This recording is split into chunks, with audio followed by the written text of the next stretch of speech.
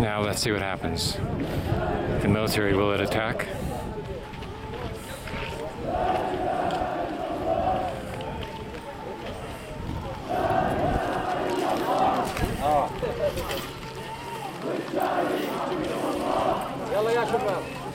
Ah.